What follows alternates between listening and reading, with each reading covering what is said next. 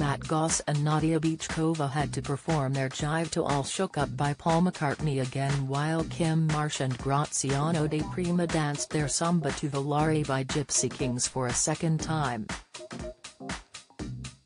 After the two performances, Matt was eliminated from the competition after earlier revealing he had put his heart and soul into his Strictly Come Dancing experience.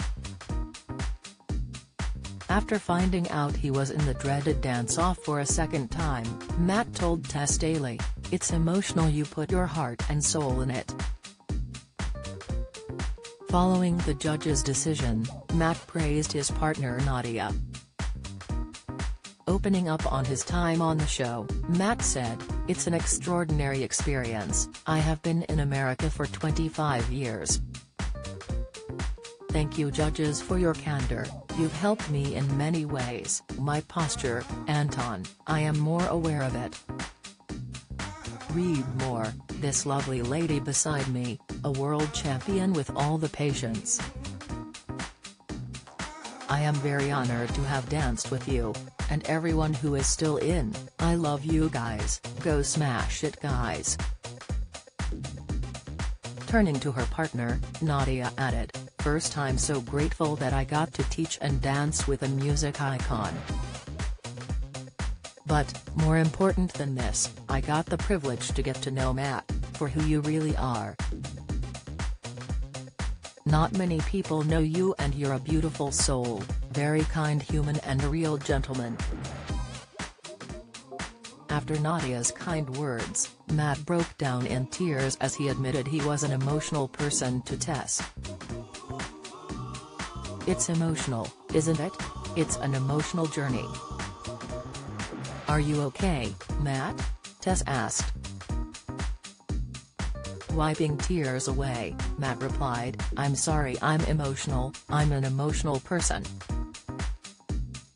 I wish my mum was here and my sister was here but the British public have really made me feel really welcome so thank you for welcoming me back after 25 years.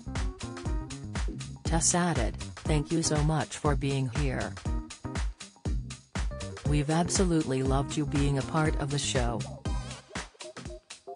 On behalf of all the Bros fans all over the world it's been an honor to have you with us. Craig Revel Horwood, Motsi Mabuse and Anton Du Beke all voted to save Kim. Anton remarked, I would just like to say you should both be thrilled with the way you performed in the dance-off, it's the most high-pressured of situations. Matt, that's your best performance of the whole series, you should be really proud of yourself but the couple with the higher technical ability, I think for me, going through is Kim and Graziano. Head judge Shirley Ballas revealed she would have also sent Matt home. She said, I also felt that both couples were 100% committed, spot-on performances today.